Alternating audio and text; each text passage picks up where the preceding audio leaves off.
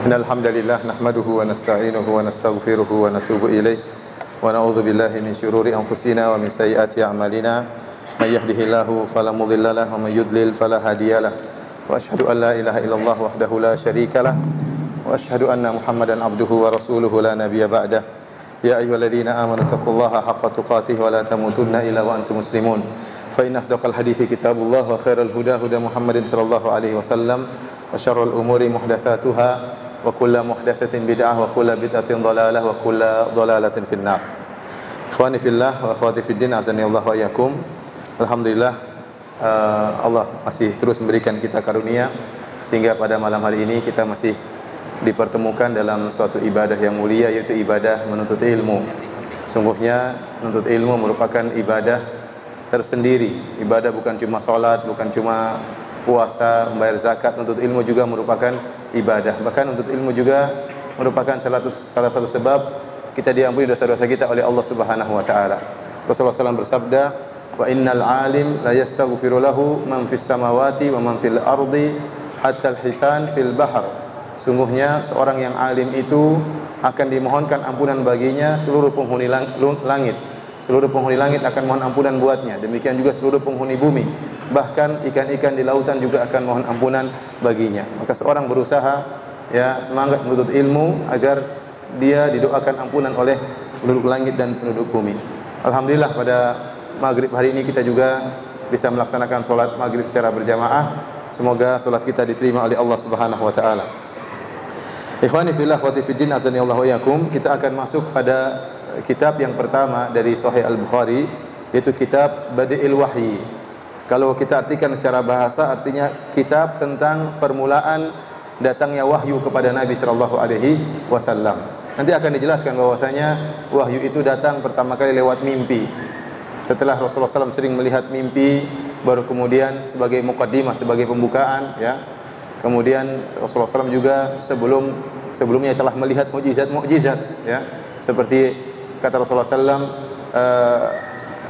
ini a'lamu hajaran kana bi Makkah yusallimu alayya. Sungguhnya aku mengetahui ada batu yang memberi salam kepada aku di Mekah sebelum Nabi diangkat menjadi seorang nabi. Sampai akhirnya Rasulullah SAW uh, berkhalwat di Gua Hira ya, setelah bermimpi kemudian berkhalwat di Gua Hira kemudian datanglah malaikat Jibril. Jadi pembahasan kita tentang bagaimana wahyu pertama kali turun kepada Nabi sallallahu alaihi wasallam. Di awal uh, Sahih Al-Bukhari ya. Uh, Al-Imam Al-Bukhari membuka kitabnya dengan Bismillahirrahmanirrahim. Saya bacakan sebagaimana dinukil oleh Al-Hafidz Ibnu Hajar dan Fathul Bari. Beliau berkata, qala Syekhul Imam Al-Hafidz Abu Abdullah Muhammad bin Ismail bin Ibrahim ibn al-Mughirah al-Bukhari rahimahullahu taala. Berkata Imam Al-Bukhari, Bismillahirrahmanirrahim. Kaifa kana badul wahyi ila Rasulillah sallallahu alaihi wasallam? Bagaimanakah permulaan wahyu turun kepada Rasulullah sallallahu alaihi wasallam? Kemudian beliau mengatakan wa qaulullahi azza wa jalla wa qaulullahi jalla dzikruhu. Firman Allah Subhanahu wa taala, "Inna auhayna ilaika kama auhayna ila Nuhin wan nabiyyina min ba'di. Sungguhnya kami mewahyukan kepada engkau wahai Muhammad sebagaimana kami mewahyukan kepada Nuh dan nabi-nabi setelah Nuh.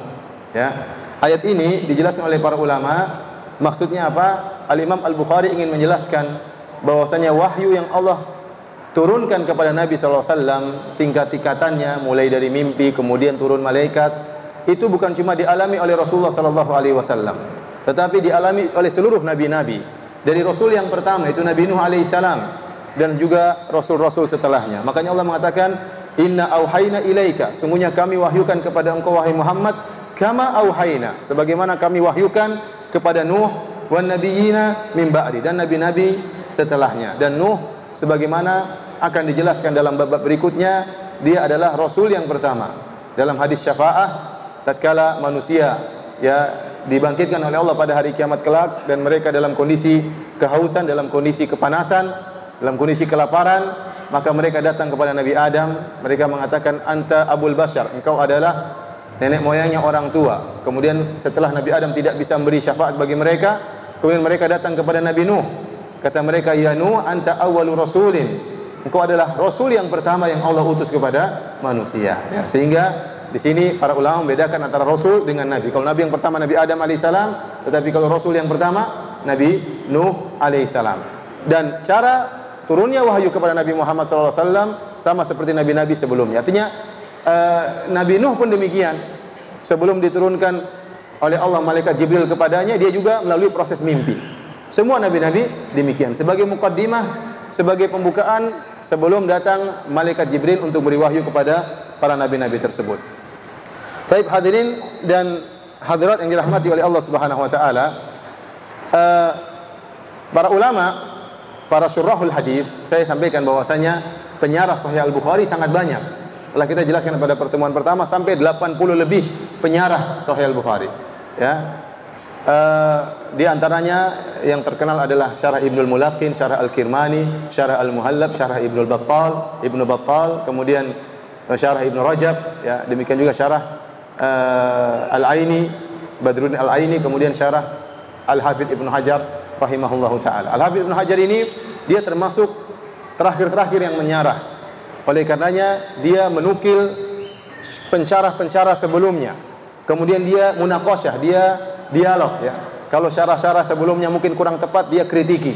Ya sehingga uh, Fathul Bari ini memiliki keistimewaan karena dia agak belakangan munculnya sehingga dia mengambil faedah. Ibnu Hajar mengambil faedah dari ulama-ulama sebelumnya, terutama terutama dari guru-gurunya. Setelah itu kalau ada pendapat gurunya yang kurang tepat dia kritiki atau ada pendapat pensyarah selain beliau yang kurang tepat dia kritiki. Kalau ada yang tepat dia nukil dan dia dukung ya.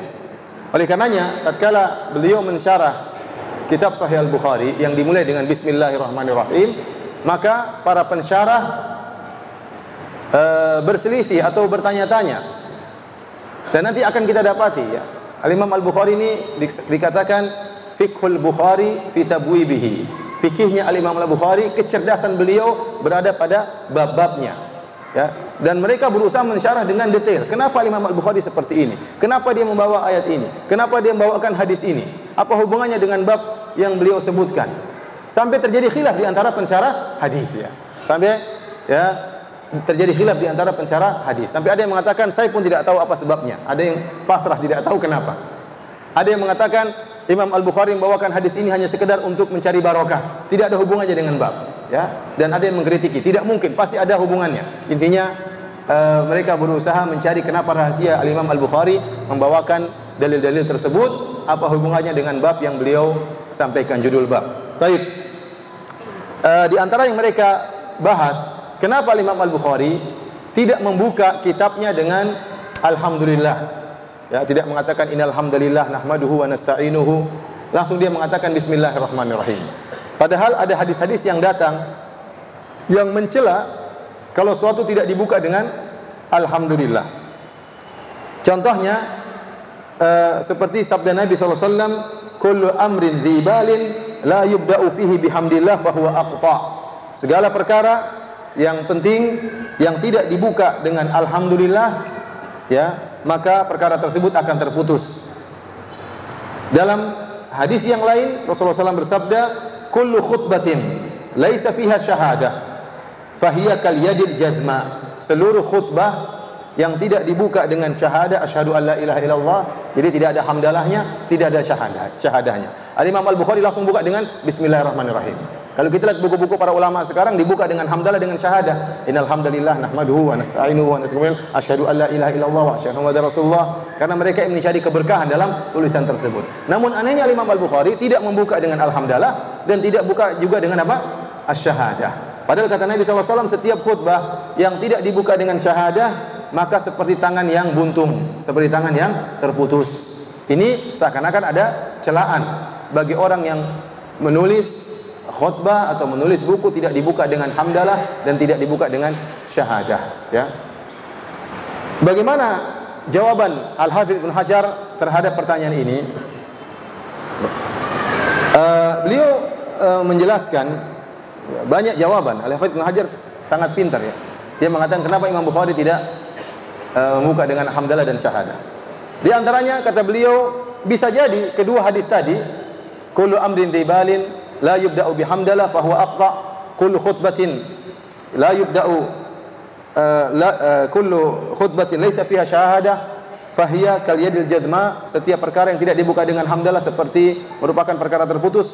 Setiap khutbah yang tidak dibuka dengan syahadah maka seperti tangan yang buntung kata beliau bisa jadi dua hadis ini tidak sesuai dengan kriteria al Imam Al Bukhari ya sehingga uh, seluruhnya dhaif menurut al Imam Al Bukhari karena memang dua hadis tersebut diperselisihkan oleh para ulama sehingga tatkala dua hadis tersebut lemah maka tidak dipakai oleh Imam Al Bukhari maka tidak perlu menggunakan membuka dengan hamdalah dan tidak perlu membuka dengan syahadah karena itu hadis tersebut uh, lemah ya. Karena kalau kita mengambil zahir hadis tersebut seakan-akan wajib membuka dengan alhamdulillah. Ya, kenapa kalau tidak dibuka dengan hamdalah perkaranya akan terputus, tidak ada berkahnya. Taib ini di antara jawaban. Jawaban lain kata Ibnu Hajar bisa jadi Al Imam Al Bukhari sudah buka dengan ucapan tidak mesti dengan tulisan. Waktu dia tulis kitab Badi'il Wahyi. Bismillahirrahmanirrahim. Alhamdulillah wassalatu wassalamu ala Rasulillah. Asyhadu an la ilaha illallah wa Rasulullah. Bab kaifa kana badu'il wahyu.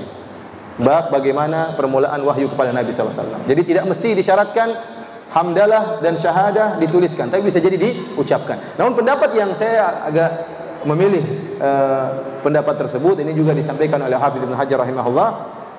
Beliau mengatakan ada bedanya antara uh,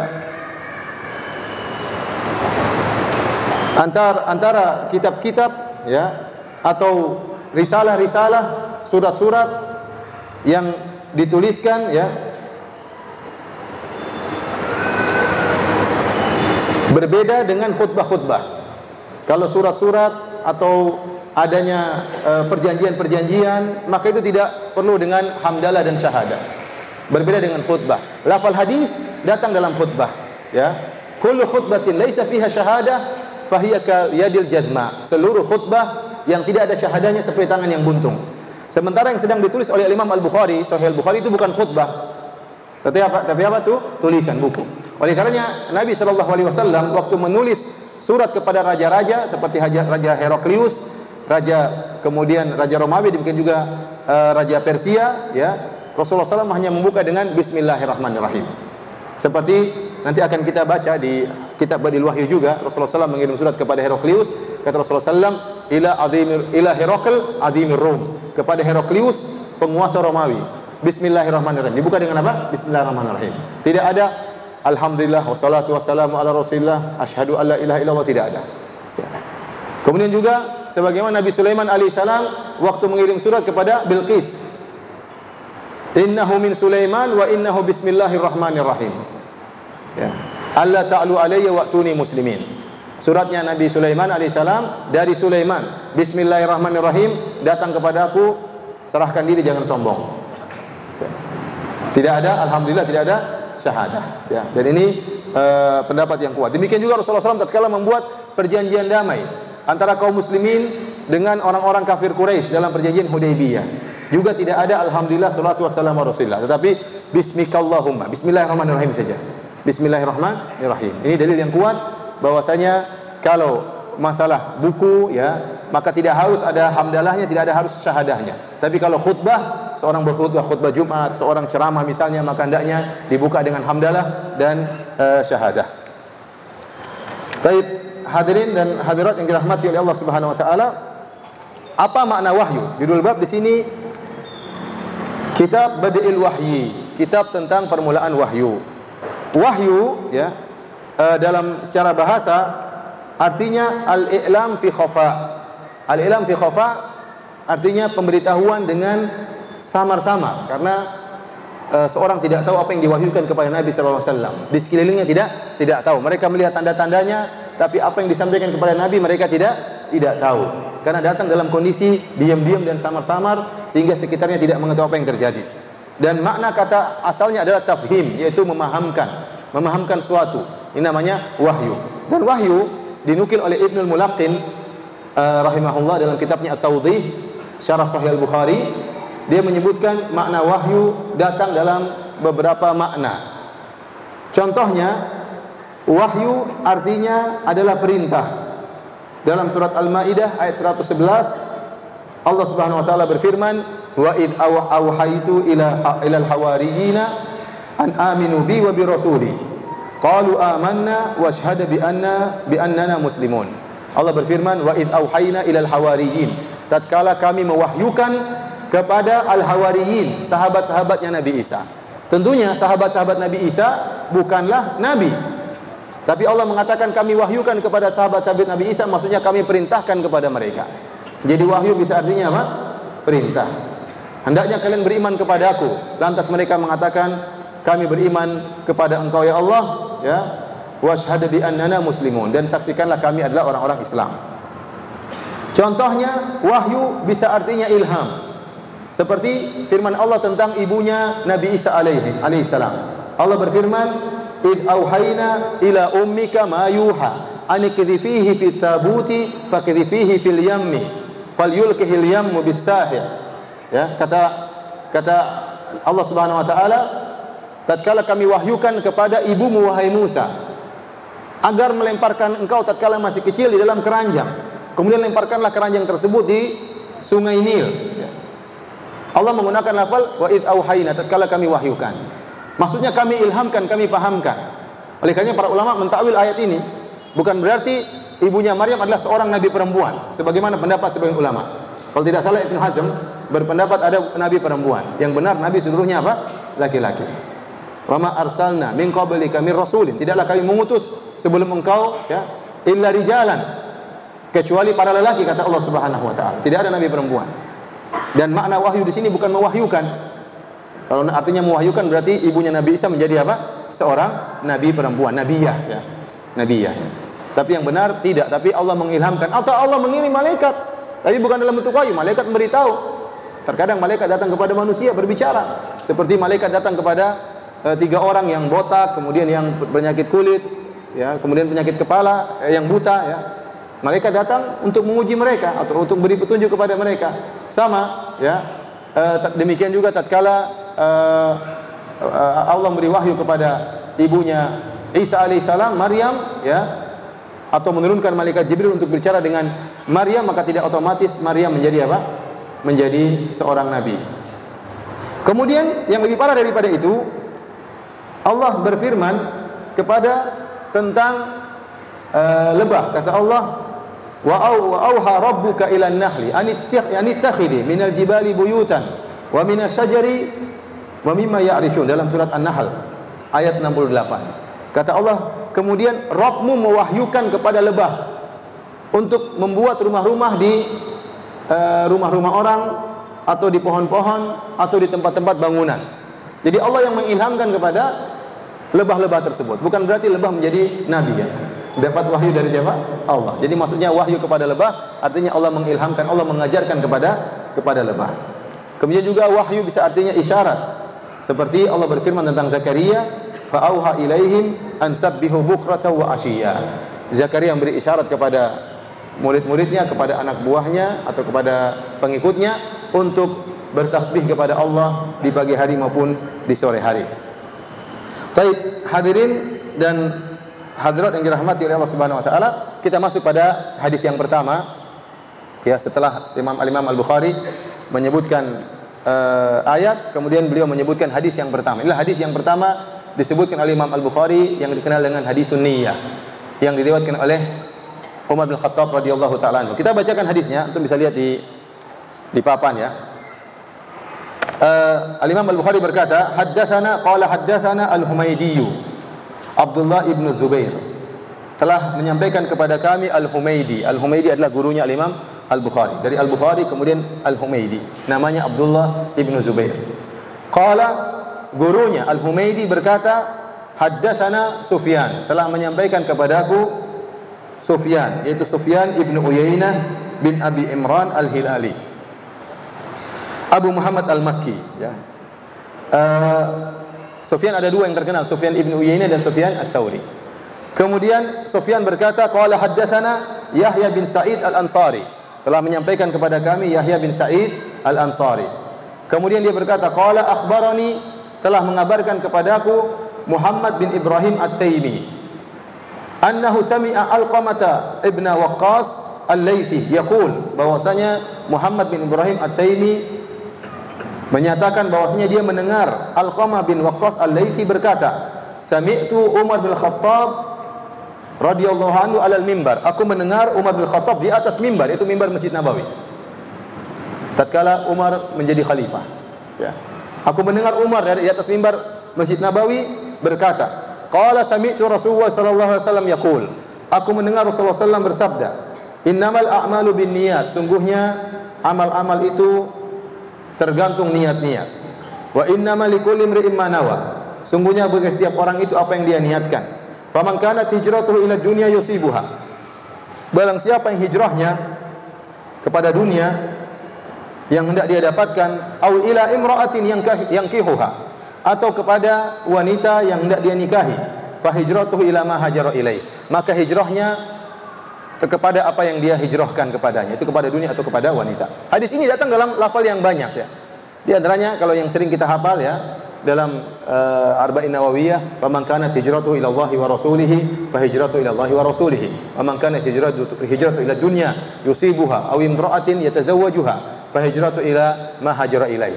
Namun dalam lafal yang dibawakan oleh Al-Imam Al-Bukhari dalam sahihnya tanpa ada lafal faman kanat hijratuhu ila Allah wa rasulih. Tidak ada lafal tersebut. Barang siapa hijrahnya kepada Allah dan Rasulnya. Tapi langsung loncat.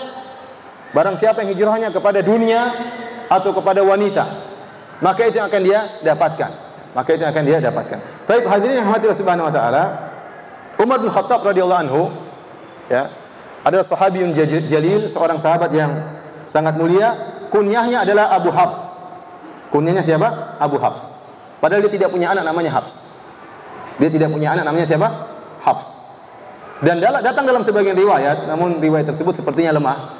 Bahwasanya Nabilah yang telah memberi kunyah kepada Umar bin Khattab. Nabi yang mengatakan anta Abu Hafs. Namun saya katakan riwayat ini disebut oleh para ulama seperti disebutkan oleh Ibnul Mulakin dalam syarahnya namun saya tidak mendapatkan ulama yang mensahihkan hadis ini, riwayat ini. Dan Hafs ya, artinya asad, artinya singa. Artinya singa. Ini dalil tentang disyariatkan untuk memiliki kunyah. Meskipun tidak punya anak. Bahkan kalau perlu dengan nama hewan tidak apa-apa. Abu Hafs. Abu Hafs artinya apa? Abu Singa. Artinya apa?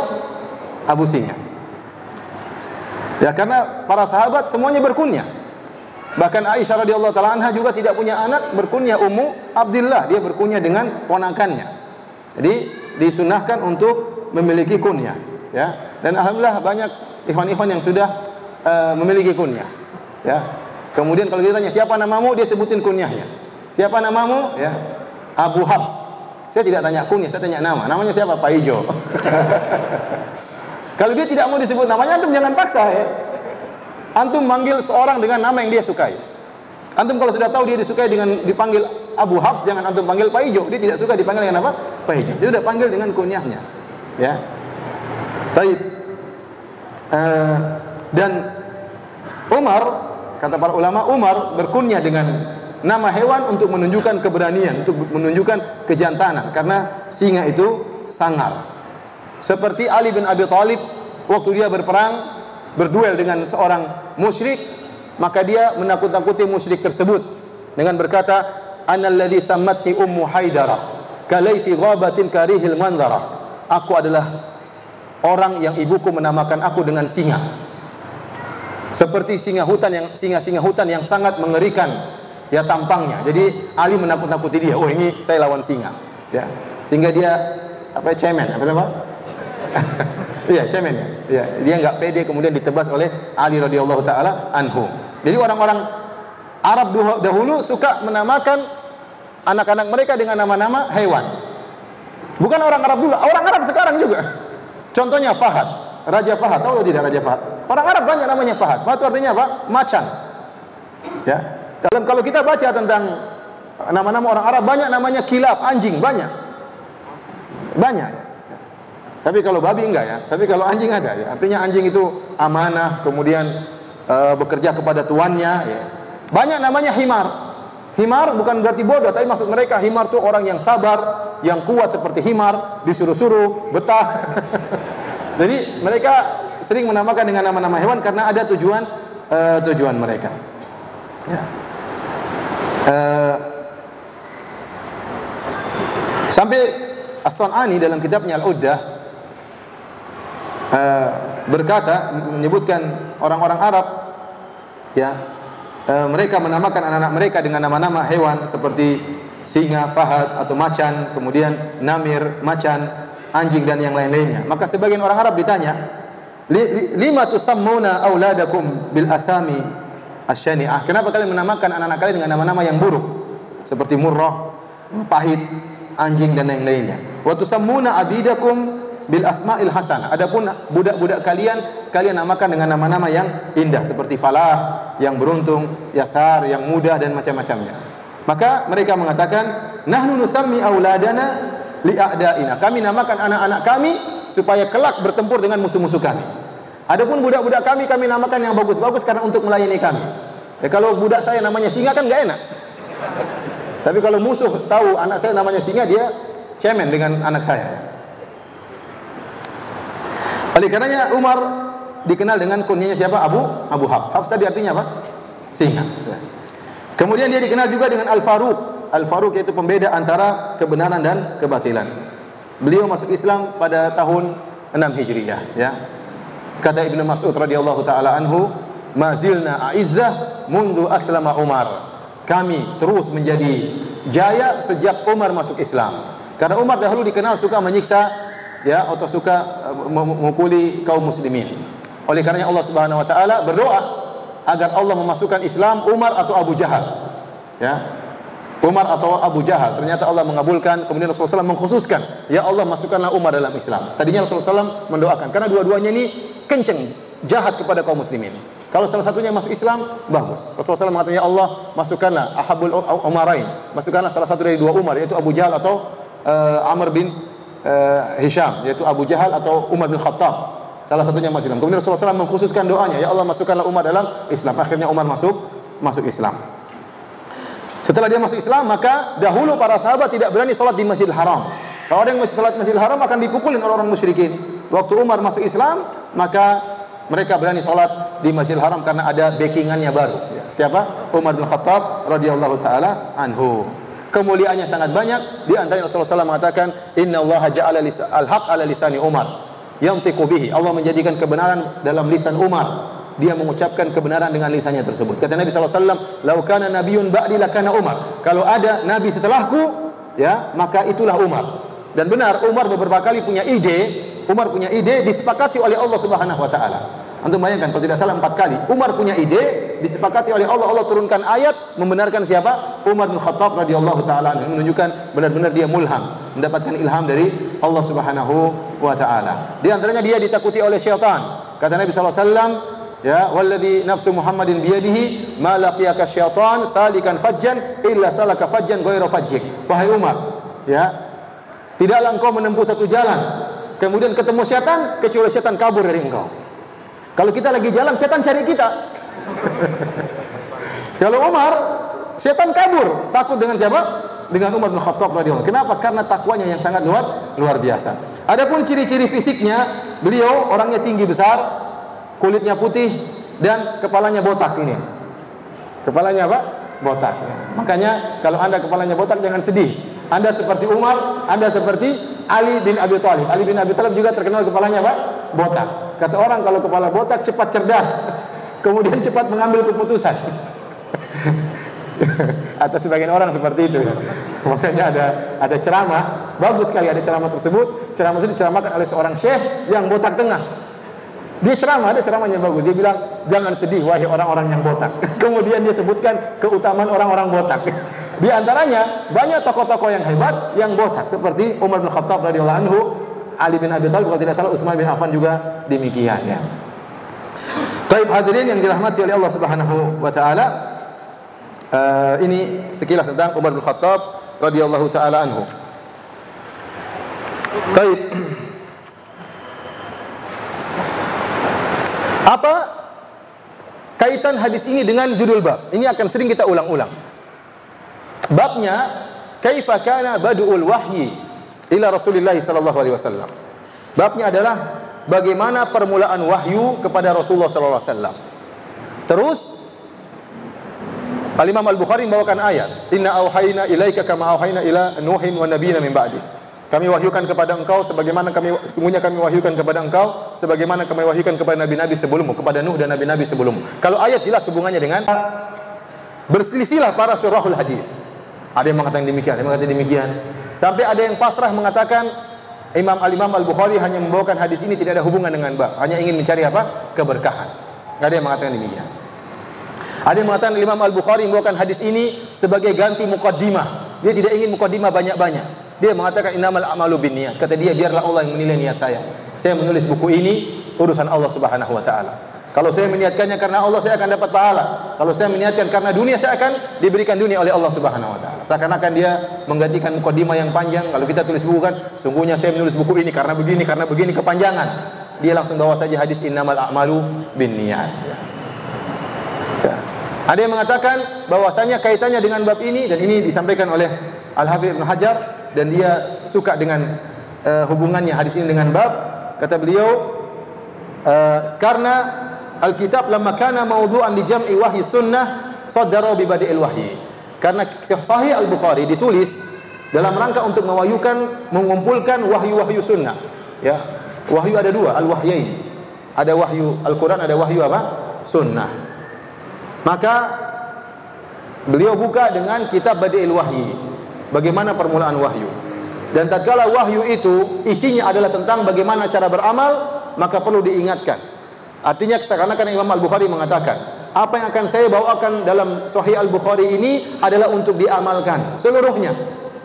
Adalah untuk diamalkan. Dan sebelum Anda mempelajari buku saya untuk diamalkan, Anda harus ingat bahwasanya amalan itu tergantung apa? Niat.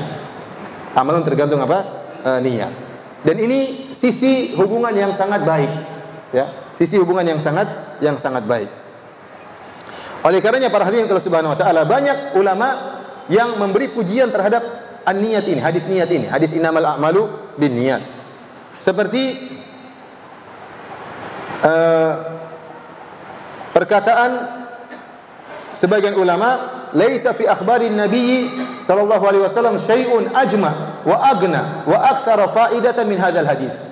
Tidak ada dari hadis-hadis Nabi yang paling mencakup, yang paling komprehensif, yang paling banyak faedahnya seperti hadis innamal a'malu binniyat.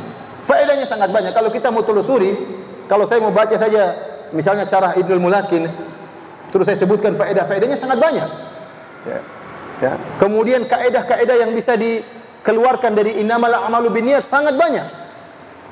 Tapi tentunya kita tidak punya waktu untuk membahas itu semua. Para ulama bahkan menulis buku-buku yang tebal khusus tentang masalah hadis inamal a'malu binniyat. Faedahnya sangat banyak dan e, keutamanya sangat sangat banyak. Kemudian e, para ulama mengatakan hadis ini adalah sulsul Islam, sepertiga Islam. Innamal a'malu binniyat adalah sepertiga Islam. Yang mengatakan demikian di antaranya Abdurrahman bin Mahdi, Al-Imam Syafi'i, ya, kemudian Ahmad bin Hambal, Ali bin Madini, Abu Dawud, At-Tirmidzi, Ad-Daruqutni, Hamzah Al-Kinani. Ini semua ulama mengatakan hadis ini adalah sepertiga Islam. Apa maksudnya sepertiga Islam? Ada dua pendapat. Ada yang mengatakan sepertiga Islam, kenapa? Karena Islam itu dibangun di atas amalan perbuatan zahir, perbuatan amal jawari, jawari maksudnya amalan anggota tubuh, atau amalan lisan, perkataan dan amalan hati. Dan hadis ini berkaitan dengan salah satu dari tiga bentuk amalan. Saya ulangi, ada amalan badan, ada amalan lisan, ada amalan apa? Hati. Dan hadis ini berkaitan dengan amalan hati. Oleh karenanya dikatakan sepertiga Islam. Ada yang mengatakan sepertiga Islam maksudnya dibandingkan dengan dua hadis yang lain. Ada hadis ya. Kalau orang ingin beramal, kata para ulama, dia harus menguasai tiga hadis ini. Dia harus menguasai tiga hadis ini. Pertama, niatnya harus ikhlas. Innamal a'malu binniyat. Setelah itu kalau dia sudah ikhlas, dia harus mengamalkan amalan yang sunnah sesuai ajaran Nabi. Maka Rasulullah SAW bersabda, "Man amila amalan laisa alaihi amruna fahuwa rad." Barang saya mengajarkan amalan, mengerjakan amalan tidak ada contohnya maka tertolak. Dan yang ketiga, tatkala dia ingin bermuamalah, dia harus tahu innal halala bayyin wal harama bayyin. Sungguhnya yang haram itu jelas, yang halal juga apa? Jelas. Maka agama Islam berputar pada tiga hadis ini. Hadis innamal amalu binniyat, amalan tergantung niat. Hadis barang siapa yang mengamalkan amalan tidak ada contohnya maka ditolak. Yang ketiga adalah hadis yang haram jelas, yang halal jelas dan di antaranya ada perkara yang syubhat. Dan salah satu dari tiga hadis tersebut adalah hadis innamal a'malu binniyat, maka dikatakan kenapa hadis ini sepertiga dari Islam. Kemudian juga sebagian ulama mengatakan, ya, seandainya saya menulis setiap kitab, saya akan dahulukan dengan hadis innamal amalu binniyat. Kalau saya tulis tentang kitab haram, maka saya akan cantumkan pertama kali hadis innamal amalu binniyat. Karena ini penting, orang bertaharah juga butuh butuh niat. Kalau saya menulis kitab salat, maka saya akan sampaikan hadis innamal amalu binniyat. Karena hadis ini juga penting. Orang yang salat harus ikhlas karena Allah. Kitab zakat, kitabul haj, semuanya saya akan buka dengan innamal amalu binniyat. Tapi hadirin hadirin subhanahu wa taala, di sini ada pembahasan sebagian ulama mengatakan hadis ini adalah hadis mutawatir. Uh, saya rasa sudah dikirim sama akhi Reza ya. Ini uh, kita sambil menjelaskan sedikit apa namanya uh, ilmu hadis ya. Ada istilah namanya hadis al-mutawatir dan namanya hadisul ahad. Hadis mutawatir maksudnya uh, sahabat yang meriwayatkan itu 10 ya atau lebih dari Nabi SAW Umar. Namun dalam hadis ini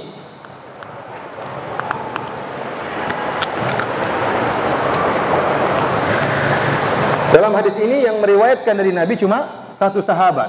Cuma siapa? Satu sahabat, Umar bin Khattab radhiyallahu taala anhu. Kalau hadis mutawatir itu yang meriwayatkan banyak. Ada sahabat-sahabat yang lain. Paham?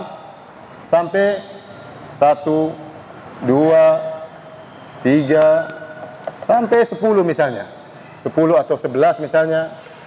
Dan itu banyak hadis mutawatir dan seterusnya. Seperti hadis Man kadzaba alayya muta'ammidan falyatabawa maq'adahu minan nar. Barang siapa yang meriwayatkan berdosa berdosa atas namaku, siapkanlah kaplingannya di neraka jahanam. Ya, ini banyak meriwayatkan. Seperti hadis tentang telaga Nabi sallallahu alaihi wasallam, ya. Hadis tentang mengusap uh, tatkala seorang berwudu dia boleh mengusap khufnya, tidak mesti dilepas apa? khufnya. Hadisnya juga hadis mutawatir. Karena itu hadis mutawatir sampai-sampai para ulama memasukkan hadis tentang mengusap khuf dalam kitab akidah. Kenapa dimasukkan dalam kitab akidah? Karena orang-orang Syiah tidak mengamalkan hadis ini. Namanya hadis mutawatir berarti hadis ini sangat yakin tidak diragukan akan kebenarannya benar-benar di, di, diucapkan oleh Nabi SAW. Kenapa? Yang meriwayatkan banyak. Kemudian di bawahnya juga sangat sangat banyak. Nah kalau yang meriwayatkan kurang dari 10, taruhlah berapa orang? 5 orang, 4 orang, 3 orang, 2 orang, 1 orang, maka ini dikenal dengan hadis ahad. Hadis apa? Hadis ahad. Nah, Sahih Al-Bukhari dibuka dengan hadis ahad dan ditutup dengan hadis ahad. Hadis terakhir dari Sahih Bukhari juga hadis ahad. Hadis pertama dari Sahih Bukhari juga hadis hadis ahad. Hadis ini disepakati oleh para ulama meskipun sanatnya adalah hadis yang ahad. Taib. Uh, Adapun dari Yahya bin Said, jadi yang meriwayatkan dari Umar cuma satu orang, Al-Qamah bin Waqqas Al-Laythi. Kemudian yang meriwayatkan dari Al-Qamah bin Waqqas Al-Laitsi juga cuma satu orang, Muhammad bin Ibrahim At-Taimi. Yang meriwayatkan dari Muhammad bin Ibrahim At-Taimi juga cuma satu orang, Yahya bin Said Al-Ansari. Dah setelah Yahya bin Said Al-Ansari, ini sangat banyak yang meriwayatkan. Sangat banyak. Sampai sebagian ulama menyatakan ada sekitar 250 orang yang meriwayatkan dari siapa? Yahya bin Said Al-Ansari. Paham? Sehingga sebagian ulama mengatakan hadis ini mutawatir dia tinjau dari sisi ini. Ini bukan cuma 10 aja, bahkan 250 orang. Maka mereka mengatakan hadisnya mutawatir, namun dibantah oleh Ibnu Hajar rahimahullah. Kalau maksudnya ini mutawatir, bukan mutawatir harus ditinjau dari seluruh sanad, dari atas sampai bawah, bukan cuma bagian ini saja. Hadis ini termasuk hadis ahad karena mutawatirnya sudah orang yang keberapa? Satu, dua, tiga, empat di bawah orang kelima. Paham? Maka yang meriwayatkan dari Yahya bin Said Al-Ansari bukan cuma Sufyan ibn Uyainah, tapi banyak perawi-perawi yang lain. Nah, hadis ini berarti hadis mutawatir atau bukan? Hadis ini hadis mutawatir atau bukan? Bukan. Namanya hadis apa? Hadis ahad. Itu kalau antum ada sudah dibagi ya. Nanti insya Allah uh, minggu depan dibagi pakai kertas ya, dikopikan dan dibagi tentang istilah-istilah hadis. Istilah-istilah hadis nanti dibagikan insya Allah sama panitia pekan depan. Baik. Tetapi hadis ini tetapi hadis ini Meskipun bukan hadis mutawatir. Jadi mutawatir ada dua. Al mutawatir ada dua. Ada namanya al mutawatir al lafzi. Ada namanya al mutawatir al maknawi. Al maksudnya mutawatir al lafzi bahwasanya sahabat 10 atau lebih meriwayatkan dari Nabi dengan lafal yang sama. Contohnya hadis ya, man kadzaba alayya muta'ammidan falyatabawa maka adahu minan nar. Barang siapa yang berucap namaku, maka siapkanlah kaplingnya di neraka. Ini hadis mutawatir dengan lafal yang sama. Sahabat ini meriwayatkan dengan lafal yang sama, sahabat ini meriwayatkan lafal yang sama, lafalnya sama. Makanya dikatakan mutawatir lafzi. Mutawatir lafalnya. Ada hadis hadis dengan istilah al-mutawatir al-maknawi. Maksudnya apa? Lafalnya berbeda-beda, tetapi ada satu poin yang ditunjuk dengan makna yang sama. Seperti hadis Dajjal. Hadis tentang Dajjal itu bukan hadis mutawatir lafzi. Tetapi sahabat ini meriwayatkan Dajjal begini. Hadis sahabat ini meriwayatkan Dajjal begini. Sahabat ini meriwayatkan beda-beda topiknya tapi semuanya nyebutin tentang apa? Dajjal. Paham? Maka para ulama mengatakan itu namanya hadis mutawatir maknawi. Contoh seperti hadis telaga Nabi sallallahu alaihi wasallam. Hadis telaga Nabi sallallahu alaihi wasallam juga datang dengan berbagai macam lafal dari sekitar 70 sahabat kalau tidak salah. Tapi lafalnya berbeda-beda, tapi semuanya berbicara tentang telaga Nabi sallallahu alaihi wasallam. Maka namanya hadis mutawatir apa? Al-ma'nawi. Maknanya sama, lafalnya berbeda. Bisa dipahami? Kalau yang ini lafalnya sama. Sama-sama sahabatnya 10 lebih. Tapi satunya lafalnya sama, yang satunya lafalnya berbeda-beda, tapi ada satu poin yang sama disepakati oleh lafal-lafal tersebut. Dan ini banyak. Nah, sebagian ulama, sebagian ulama membawakan hadis innamal a'malu binniyat dalam mutawatir al-ma'nawi. Paham? Mereka membawakan hadis innamal a'malu binniyat dalam hadis mutawatir al-ma'nawi. Kenapa? Karena banyak hadis-hadis yang e, bermakna sama dengan hadis ini. Saya akan sebutkan ini dinukil oleh Al-Hafidz Ibnu Hajar rahimahullahu taala.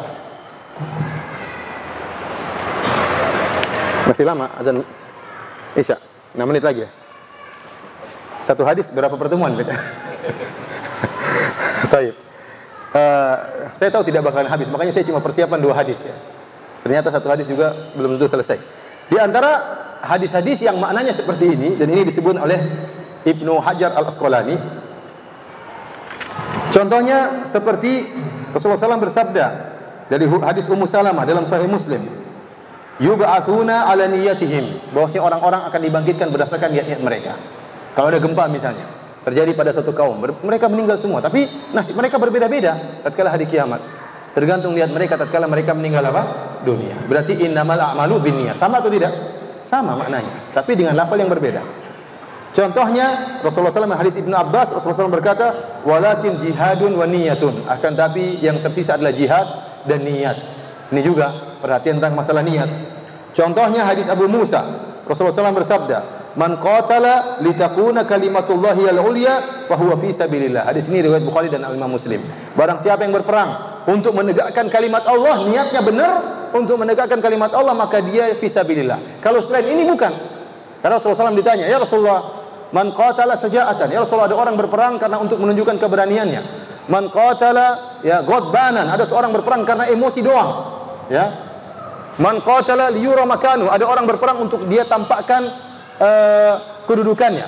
Man qatala liyuzkar. Ada orang yang berperang untuk dikenang. Ayu dzalika fi sabilillah. Mana di antara mereka yang di jalan Allah. Maka Rasulullah SAW menjelaskan, "Man qatala litakuna kalimatullahi al-ulya fa huwa fi sabilillah." Barang siapa yang berperang niatnya karena untuk menegakkan kalimat Allah itulah yang di jalan Allah Subhanahu wa taala. Ini hadisnya sama dengan innamal a'malu binniyat. Yang berperang untuk dikenang Allah buat, buat dia terkenal. Yang dikenang Allah buat dia dikenang. Orang yang ber, berperang untuk hanya mencari gonima, Allah berikan gonima. Innamal amalu binniyat wa innamal likulli imrin nawa. Sama maknanya seperti hadis, amalan tergantung niatnya dan masing-masing orang mendapatkan sesuai dengan apa? amalannya. Sama persis cuma lafalnya berbeda, redaksinya berbeda. Ya. Contoh hadis yang lain, Rasulullah SAW bersabda, "Rubba qatilin baina saffaini Allahu a'lamu biniyatihi." Betapa banyak orang meninggal di medan pertempuran antara pasukan musuh dengan pasukan kaum muslimin, dia meninggal di antara pas peperangan tersebut. Kata Nabi, Allah a'lamu biniyati. Allah tidak tahu bagaimana niatnya. Ini menunjukkan tidak semua orang yang meninggal dalam medan pertempuran mati syahid. Ya, secara zahirnya dia syahid, tapi hakikatnya kata Allah, kata Nabi, Allahu a'lamu biniyati. Allah lebih tahu tentang niatnya. Ini maknanya sama dengan hadis apa? Innamal a'malu binniyat. Contohnya Rasulullah SAW bersabda, "Man ghaza wa huwa la yanwi illa iqalan falahu manawa." Barang siapa yang berperang dan dia tidak berperang hanya kecuali untuk mencari ghanimah, mencari ikhalan, mencari kambing misalnya atau uh, apa namanya hewan-hewan, maka bagi dia apa yang dia dapatkan. Ini persis seperti wa inna malikul limri'in manawa. Masing-masing mendapatkan apa yang dia niatkan. Jadi hadis tentang niat ini hadisnya mutawatir, tapi mutawatir apa? Al-ma'nawi. Paham? Baik hadirin hadirat subhanahu wa taala, kita akan uh, membahas lafal hadis ini satu persatu.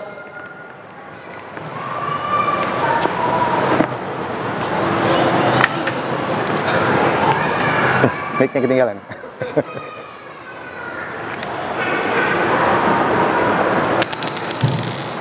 Masih ada waktu kah? Masih. Baik. Uh, sekarang ada kalimat innama.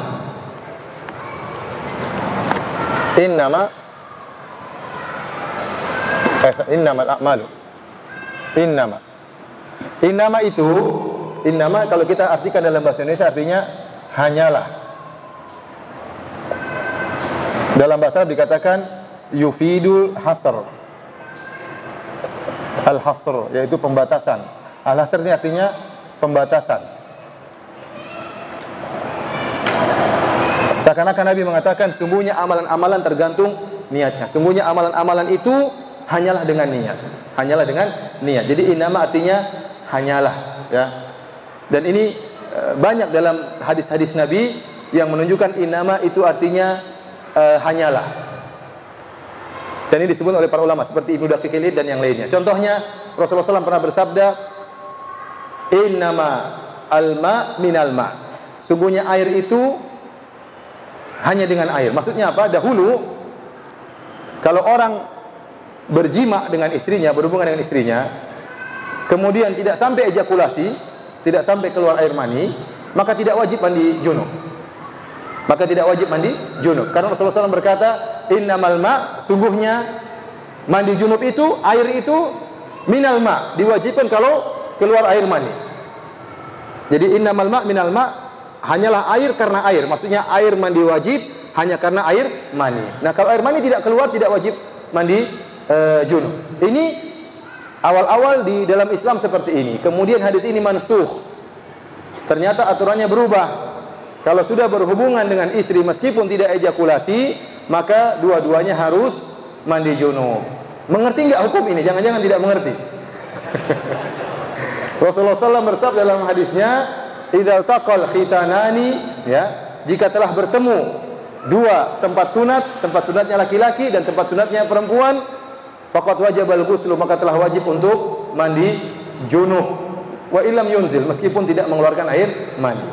Ya, dalam hadis yang Rasulullah SAW, "Idza jahada, idza jalasa baina syu'abihal arba, thumma jahadaha, faqad wajibal ghusl." Kalau seorang lelaki telah berdiri di depan empat cabang wanita, depan di atas dua tangannya, di, di cabang kedua kakinya, thumma jahada, kemudian dia melakukan, mohon maaf, melakukan penetrasi, faqad wajibal ghusl, maka telah wajib mandi junub wa illam yunzil meskipun belum keluar air air mani, ya.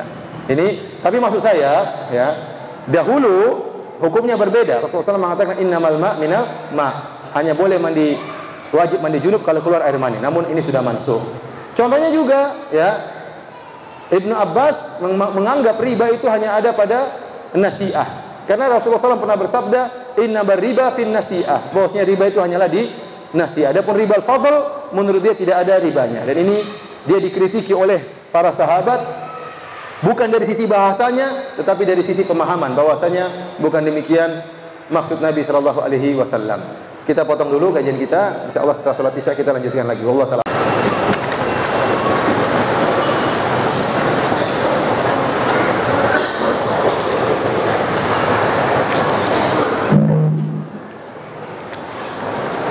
Bismillahirrahmanirrahim. Assalamualaikum warahmatullahi wabarakatuh.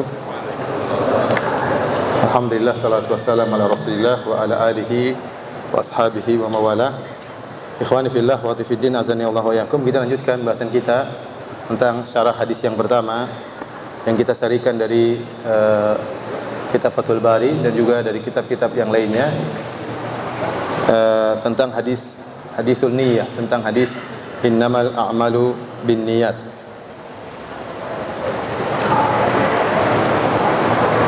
Ikhwani fillah tadi saya jelaskan bahwasanya innama dalam bahasa Arab ya maknanya hanyalah yufidul hasr namun innama itu terkadang maknanya terkadang li at-ta'kid Kali ini lil hasr, ini li ta'kid artinya penekanan. Seperti firman Allah Subhanahu wa taala, "Innama Allahu innama ilahukum ilahu wahid." Innama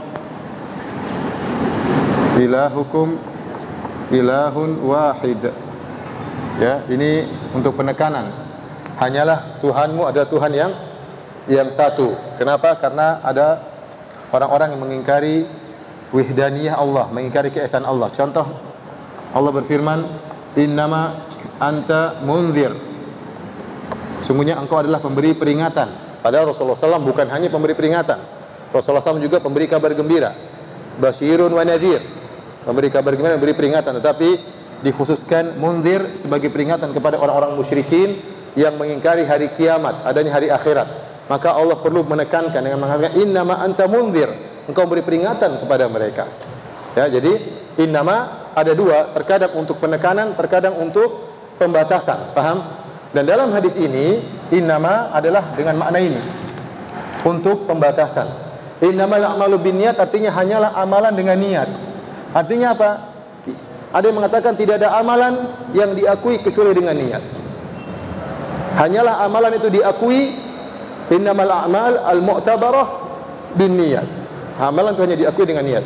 Ada yang mengatakan amalan itu nggak mungkin terjadi kecuali ada niatnya.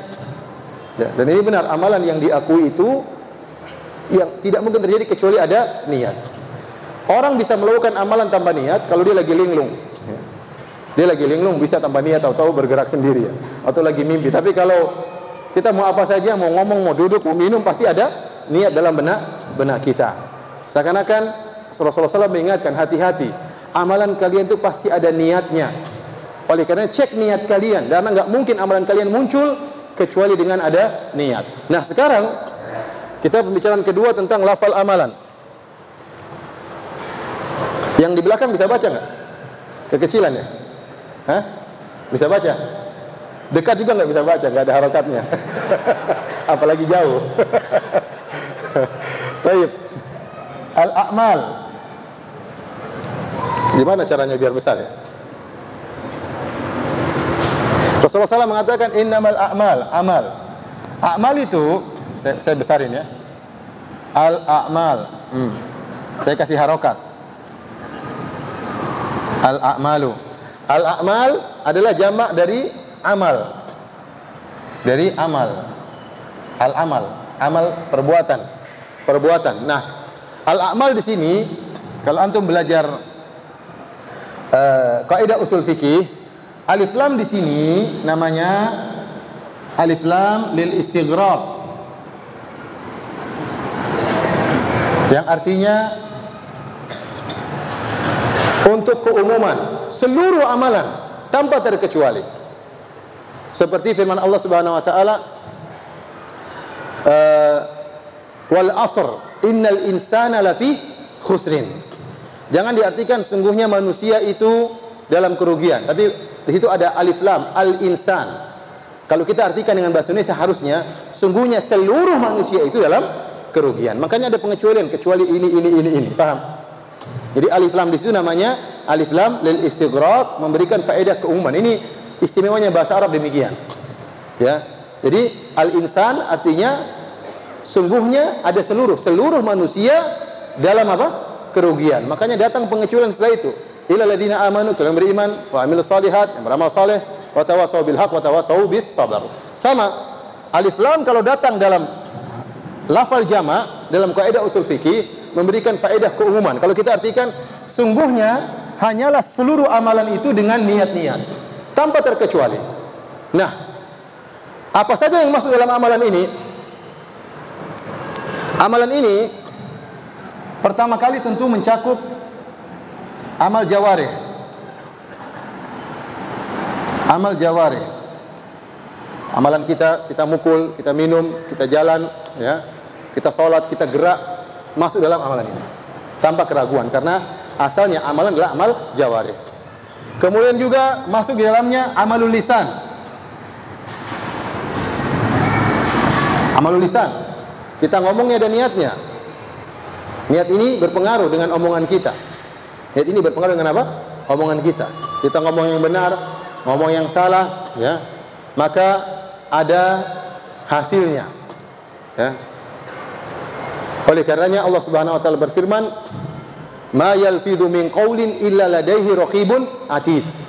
Tidaklah seorang hamba mengucapkan suatu ucapan kecuali akan dicatat oleh malaikat raqib dan atid.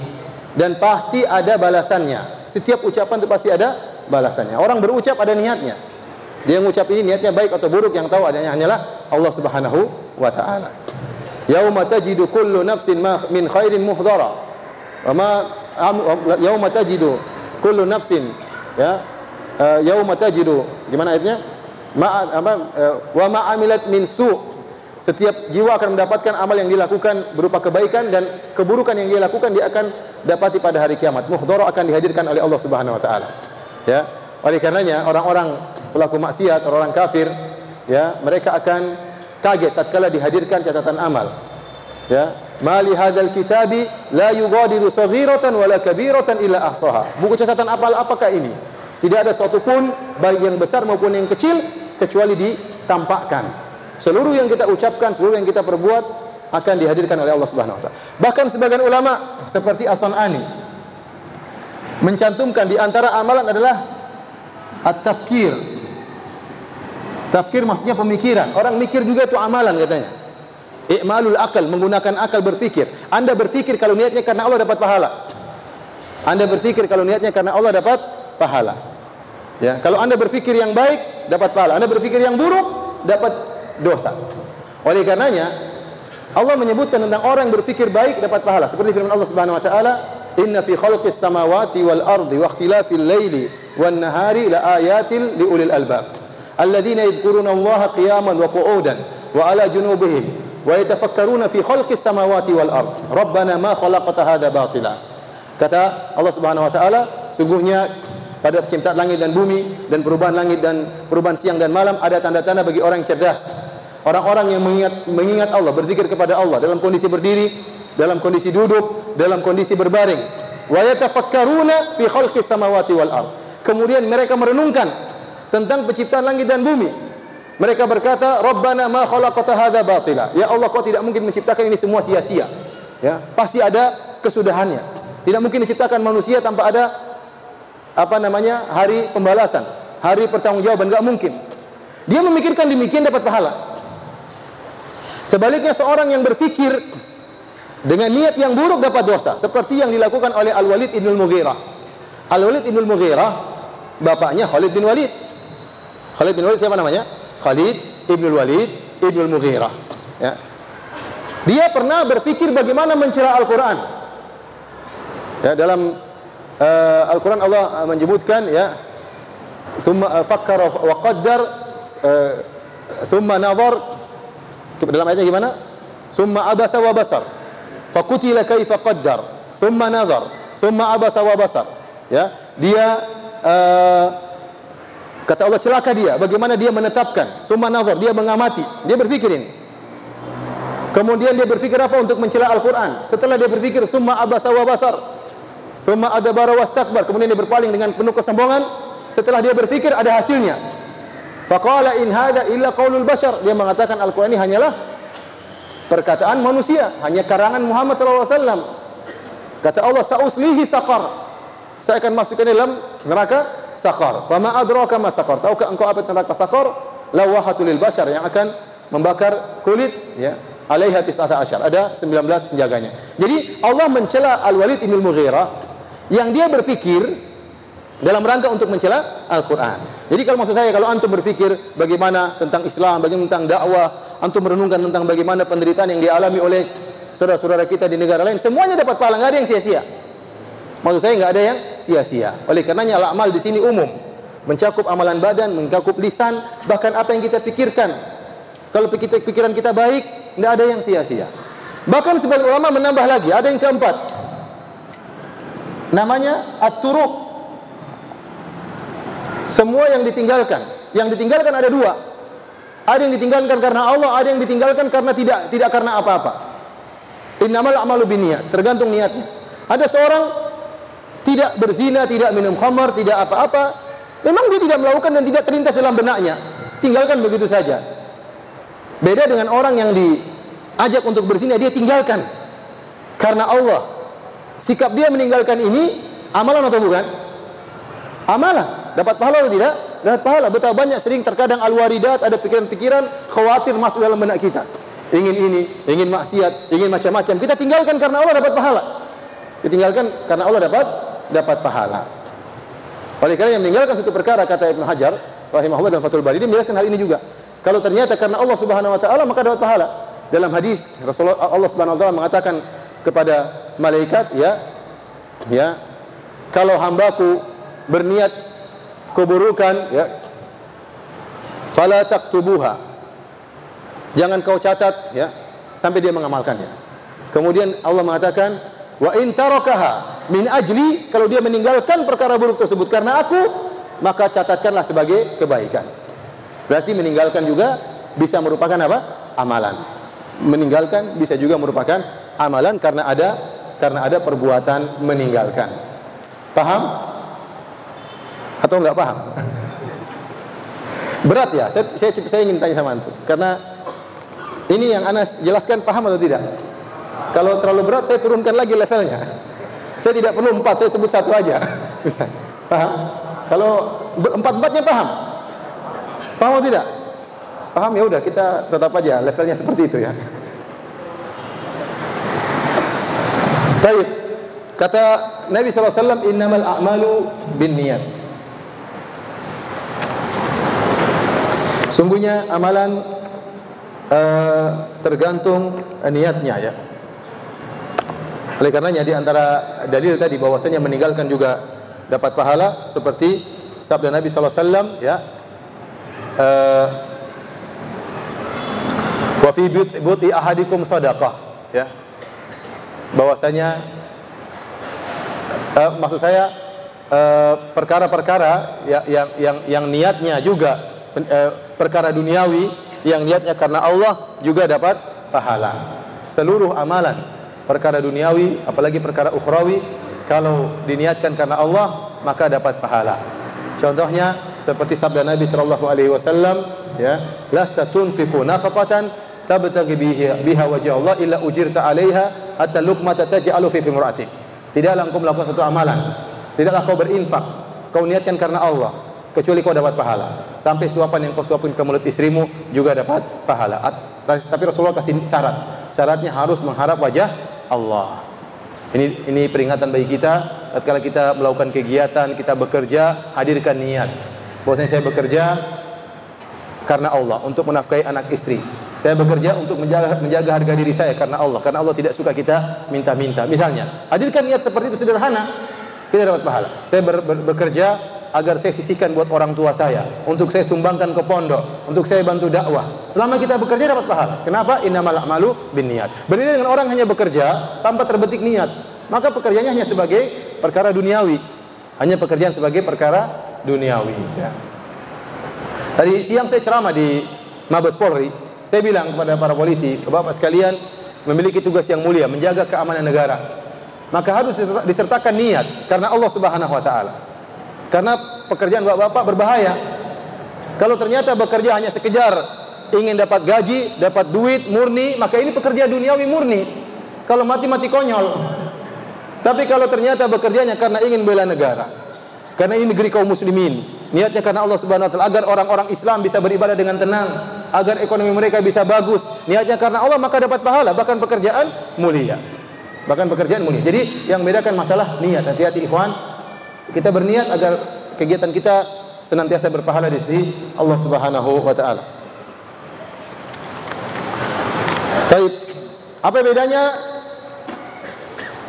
kalimat yang pertama dan kalimat yang kedua? Kalimat pertama innamal a'malu binniyat. Sungguhnya amalan-amalan tergantung apa? niatnya. Yang kedua untuk menjelaskan tentang hasilnya. Yang pertama seakan-akan Nabi mengatakan ingat amalan itu pasti ada niatnya. Maka waspadailah amat a, a, niat kalian. Jangan sampai salah niat. Yang kedua wa inna malikul imri'in manawa. Sungguhnya Setiap orang itu tergantung apa yang dia niatkan. Rasulullah SAW menyebutkan hasilnya. Barang siapa niat tertentu maka itu hasilnya. Kemudian Rasulullah SAW memberi contoh. Faman kanat hijratu ila Allah wa rasulih, fa hijratu ila Allah wa rasulih. Barang siapa contohnya di antara sekian banyak amalan, ada amalan yang agung seperti hijrah. Hijrah amalan yang berat. Meninggalkan uh, negeri menuju negeri yang lain. Ini uh, perkara yang sangat berat ya. Meninggalkan negeri yang dicintai, harus berhijrah. Oleh karenanya Nabi sallallahu alaihi wasallam diuji oleh Allah dengan meninggalkan kota yang dia cintai. Sampai-sampai Al-Iraqi dalam Tarhus Tatrid ya menyebutkan tatkala Rasulullah sallam datang wahyu kepada Nabi sallallahu alaihi wasallam kemudian Nabi sallallahu alaihi wasallam pergi ke Waraqah bin Naufal Waraqah mengatakan engkau la tukadzibannahu kata Waraqah engkau akan didustakan oleh kaummu Rasulullah SAW diam tidak komentar kemudian kata Waraqah la tu'dhiyannahu bahwasanya kaum Muhammad akan menyakiti Muhammad, mungkin akan dikata-katain, mungkin dipukul, mungkin diapain. Rasulullah SAW diam tidak komentar. Waktu dia mengatakan wala tukhrijannahu bahwasanya kaumnya akan mengusirnya, maka Rasulullah SAW komentar waktu itu. Awa mukhrijiyahum apakah mereka akan mengusirku? Kata para ulama di antara Suhaili bahwa ini dalil bahwasanya meninggalkan kampung halaman itu suatu yang berat. Oleh karena kaum muhajirin lebih utama daripada kaum Ansar di antaranya karena mereka diuji untuk meninggalkan apa kampung halaman. Tapi mereka harus meninggalkan kampung halaman, melakukan hijrah, meninggalkan tanah air, meninggalkan tempat yang penuh dengan kenangan karena Allah Subhanahu wa taala. Maka mereka berhijrah. Pertama kali Rasulullah SAW menyuruh berhijrah ke negeri Habasyah. Maka berangkatlah kaum muslimin ke negeri Habasyah. Negeri Habasyah negeri kafir juga. Dipimpin oleh Raja Najasyi beragama Nasrani. Tetapi negeri tersebut rajanya adil meskipun dia Nasrani sehingga kaum muslimin bisa beribadah dengan lebih baik di situ. Maka Rasulullah SAW memindahkan dari tempat e, penindasan menuju tempat yang tiada penindasan. Kemudian akhirnya penindasan lebih keras lagi sampai akhirnya Rasulullah SAW berhijrah ke kota Madinah. Nah Rasulullah SAW contohkan di antara amalan yang bisa berbeda hasilnya, amalannya sama tapi hasilnya berbeda karena niat. Contohnya masalah hijrah. Kata Rasulullah SAW, "Wa man kanat hijratu ila Allah wa Rasul." Ini sekedar, sekedar contoh. Ya, Seakan-akan Rasulullah SAW mengatakan, lihat ini amalan besar. Hijrah, pahalanya luar biasa. Tapi kalau salah niat, gawat. Paham? Kalau salah niat, gawat. Kata Rasulullah SAW, "Man kana hijratu ila wa rasulih." Barang siapa yang berhijrah karena Allah dan Rasulnya, fa hijratu ila wa rasulih. Maka hijrahnya kepada Allah dan Rasulnya. Wa man kana hijratuhu lid dunya yusibuha aw imra'atin yankihuha. Barang siapa yang berhijrah karena dunia atau karena wanita ingin dia nikahi, maka fa hijratu ila ma hajara ilaih. Maka itu yang akan dia dapatkan. Seakan-akan Rasulullah SAW mencela, dia akan mendapatkan wanita dapat, dunia dapat, tapi pahala tidak dapat sama sekali karena niatnya keliru. Karena niatnya keliru. Taib. Hadirin dan hadirat yang dirahmati oleh Subhanahu wa taala. Kata Rasulullah SAW, barang siapa yang hijrahnya kepada dunia. Dunia uh, adalah fu'la dari ad-dunu. Kalimat diambil dari kalimat dunu dalam wazan fu'la, dunia. Ad-dunu artinya dalam bahasa Arab artinya al-qurb, dekat. Kenapa dunia dinamakan dengan dunia?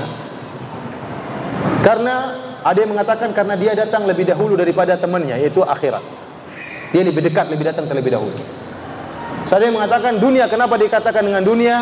Karena dunia itu cepat sekali hilang seorang tidak terasa kata Allah Subhanahu wa taala ya i'lamu annamal hayatud dunya la'ibu wa lahu ketahuilah bahwasanya kehidupan dunia itu hanyalah permainan dan senda gurau hanya sebentar tidak lama orang bermain-main tahu-tahu game over permainan selesai orang bersenda gurau tiba-tiba dia mengalami keseriusan ya oleh karenanya kehidupan dunia sangatlah cepat makanya dinamakan dengan dunia artinya qarib dekat cepat selesai Berbeda dengan akhirat. Akhirat artinya hari akhir yang tiada pengunjungnya. Itulah hari terakhir. Tidak ada hari lagi setelahnya. Tiada henti-hentinya.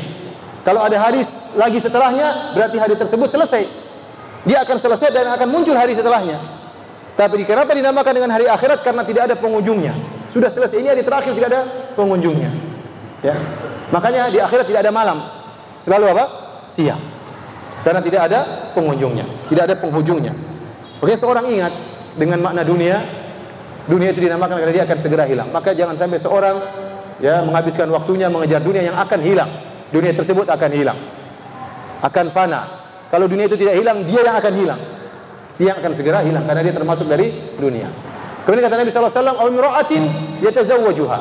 Atau dia berhijrah karena wanita yang ingin dia cinta, yang ingin dia nikahi. Penyebutan wanita dikhususkan setelah dunia menunjukkan bahayanya wanita. Ya, seperti sabda Nabi SAW, Fattaqud dunya wattaqun nisa. Takutlah kalian kepada dunia dan takutlah kalian kepada wanita. Kenapa? Karena fitnah wanita adalah fitnah dunia tapi secara khusus lebih berbahaya bagi lelaki. Kata Rasulullah SAW, inna awala fitnati bani Israel kanat fin nisa. Sungguhnya fitnah pertama kali yang menimpa Bani Israel adalah masalah wanita. Ya. Fattaqud dunya wattaqun nisa. Takutlah kalian kepada dunia secara umum dan takutlah kalian kepada wanita secara khusus. Barang sama berhijrah karena dunia atau karena mencari wanita, maka hijrahnya kepada uh, wanita tersebut. Hadirin dan hadirat yang dirahmati oleh Allah Subhanahu wa taala. Uh, sebagian ulama menukil bahwasanya sebab asal muasal munculnya hadis innamal a'malu binniyat karena ada kisah seorang yang dikenal dengan Muhajir Ummi Qais yaitu seorang yang berhijrah karena ingin menikahi seorang wanita di Mekah yang namanya Ummu Qais yang namanya uh, Ummu Qais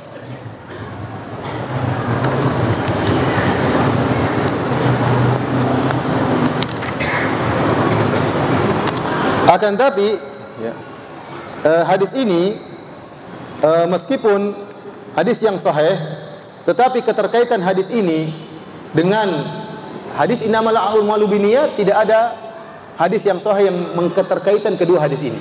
Jadi kisah tentang seorang yang berhijrah karena ingin menikahi Ummu Qais datang dalam satu hadis. Tetapi dia bukan sebab hadis innamal a'malu binniyat. Jadi ini hadis sendiri, ini hadis sendiri. Sebagaimana dijelaskan oleh Al-Hafidz Ibnu Hajar rahimahullahu taala. Ya. Saya carikan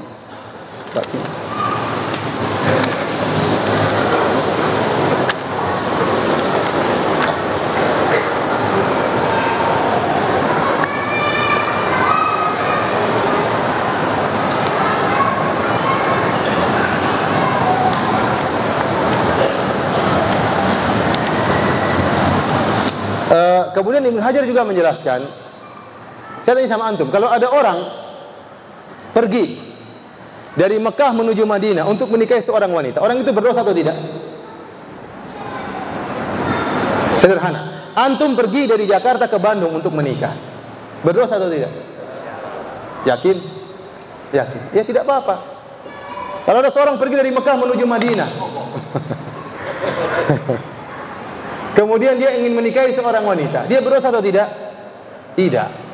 Tidak berdosa. Yang dilarang atau dicela oleh Nabi, seorang yang berlagak seakan-akan ingin berhijrah. Padahal niatnya untuk menikahi seorang apa? Wanita. Itu yang dicela. Dia menampakkan amalan ibadah, ternyata ada udang di balik batu. Di balik bakwan. Udah lapar ya. Jadi itu yang dicela. Tapi kalau dia memang sengaja ingin pergi bersafar menikahi seorang wanita, tidak mengapa. Ya. Antum boleh pergi ke Bandung mencari calon istri. Nazar nggak cocok, lagi lagi nazar nggak cocok.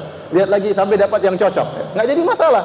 Dan itu perjalanan dapat pahala karena ingin menikahi seorang wanita untuk menjaga harga diri. Ya. Tapi yang dicela oleh Nabi saya ingat ini perkataan Ibnu Hajar rahimahullah, yang dicela adalah seorang kalau pergi berhijrah atau ingin menikahi seorang wanita, namun dia menampakkan seakan-akan dia sedang berhijrah. Seperti seorang yang berdakwah, seakan-akan dia berdakwah tapi ternyata dia ingin mengumpulkan dunia. Ya, contohnya. Ya.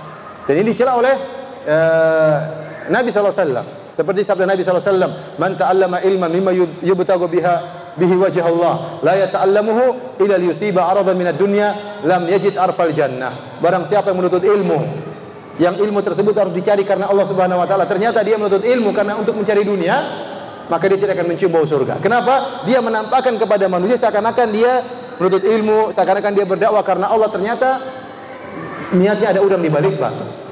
Paham? Ini yang dicela. Menampakkan bentuk ibadah ternyata niatnya tidak beres.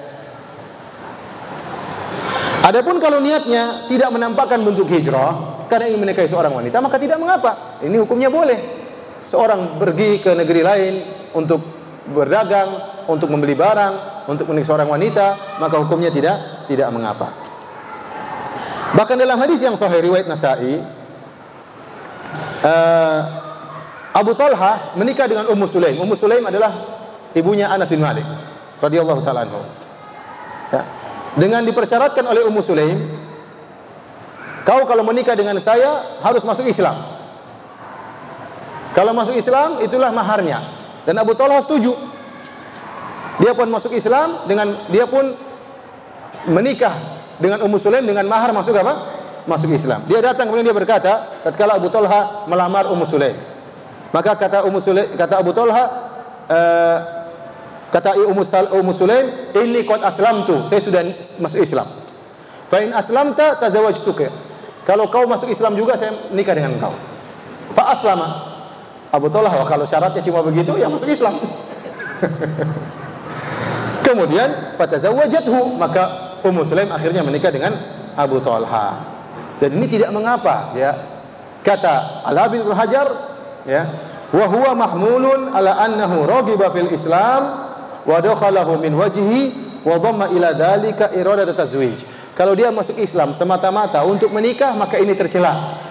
Tetapi dibawakan oleh Ibnu Hajar maksudnya Abu Talha ini memang sudah ingin masuk Islam. Dia sudah tertarik untuk masuk Islam. Kebetulan ada manfaat yang lain, ya sudah, dia masuk Islam sekalian menikah dengan wanita tersebut. Paham? Antum ikut pengajian niatnya karena Allah Subhanahu wa taala. Sekaligus bisa untuk berdagang, tidak apa-apa. Barang siapa berhaji niatnya sekaligus untuk berdagang, yang penting hajinya karena Allah Subhanahu wa taala, tidak mengapa. Allah berfirman, ya uh, apa namanya? Uh, Laisa laisa alaikum junahun an tabtagu fadlan min rabbikum. Tidak mengapa bagi kalian tatkala kalian berhaji kemudian kalian mencari rezeki karunia. Jadi kalau ada yang berhaji kemudian niatnya sambil berdagang tidak mengapa yang penting niat hajinya karena Allah bukan karena bukan karena ria, bukan karena ria. Sama kata Halafiz bin Hajar ini hukumnya seperti seorang yang berniat puasa sekaligus untuk menjaga kesehatan. Ada orang niatnya puasa karena Allah sekaligus untuk menjaga apa? Kesehatan. Boleh atau tidak? Boleh. Dapat pahala. Ya. Seperti itu. Dalam hal ini Al-Ghazali berpendapat ini masalah mencampurkan antara niat akhirat dengan niat dunia. Ya. Karena sebagian orang salah paham. Mereka menyangka bahwasanya niat akhirat tidak boleh dicampur dengan dunia sama sekali. Barang siapa niat akhirat dicampur dengan dunia, maka dia terjerumus dalam riak, dalam kesyirikan. Tidak seperti itu.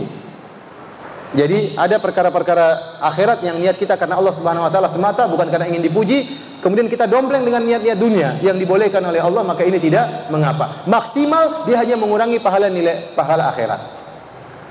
Oleh karenanya Rasulullah SAW terkadang memotivasi amalan akhirat untuk mendapatkan keuntungan duniawi. Contoh kata Rasulullah SAW, ya, Man ahabba an yubasata lahu fi rizqihi wa yunsa'a fi athari falyasil rahimah. Barang siapa yang ingin dilapangkan rezekinya dan ingin dipanjangkan umurnya maka sambung silaturahmi. Silaturahmi ibadah. Tapi kalau di dombreng ada niat duniawi dipanjangkan umur dapatkan rezeki boleh. Yang memotivasi siapa? Rasulullah SAW. Rasulullah SAW juga bersabda, Dawu mardakum bisadaqah. Hendaknya kalian men mengobati orang-orang sakit di antara kalian dengan bersedekah. Maka boleh kita bersedekah bukan karena ingin dipuji. Kita bersedekah, kita cari orang miskin, kita sedekah karena Allah dengan niat agar istri saya sehat. Ini dianjurkan oleh Nabi SAW. Melakukan satu amalan ibadah ibadah dengan niat duniawi, dengan niat duniawi tersebut boleh. Namun ingat, tidak boleh niat duniawi ini menjadi mendominasi amalan ibadah kita. Kalau ada orang semata-mata bersedekah dalam rangka untuk mengobati orang yang sakit, maka ini dia semata-mata supaya rezekinya bertambah, supaya umurnya panjang, maka dia tidak mendapatkan apa? Pahala akhirat sama sekali. Jadi kita menghadirkan pahala akhirat disertai dengan e, mendompleng niat duniawi yang dibolehkan, maka ini tidak mengapa. Contoh ada seorang ya susah dapat rizki, kita suruh bertakwa kepada Allah. Kalau kamu bertakwa, kau akan dapat rizki dari Allah dari arah yang kau tidak sangka-sangka. Kenapa Allah berfirman, "Wa may yattaqillaha yaj'al lahu makhraja." Barang siapa yang bertakwa kepada Allah, Allah berikan solusi. Wa yarzuquhu min haitsu la yahtasib. Dan Allah akan berikan rizki kepada dia dari arah yang dia tidak sangka-sangka. Maka kalau ada orang bersolat supaya dapat rizki boleh. Yang penting solatnya karena Allah ingin mengharapkan pahala akhirat sekaligus untuk mendapatkan rizki bertambah. Boleh.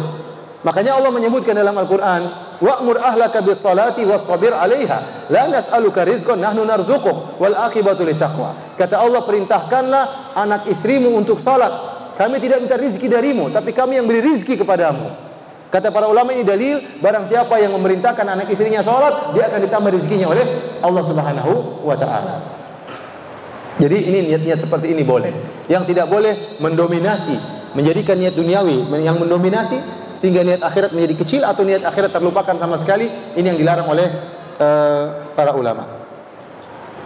Baik hadirin hadirin subhanahu wa taala, kita sebutkan beberapa faedah di akhir pengajian kita yang kita bisa ambil dari uh, hadis innamal a'malu binniyat ya.